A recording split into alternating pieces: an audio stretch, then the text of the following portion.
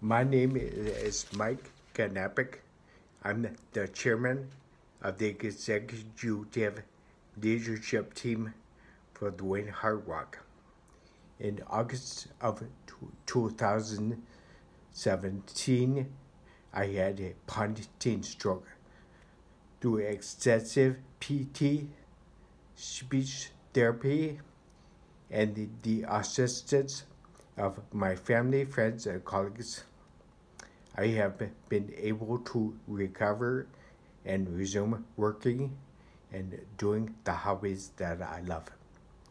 I'm sending this video to you to let you know how important awareness of cardiovascular health is and to encourage your support of the Wayne Heart Walk.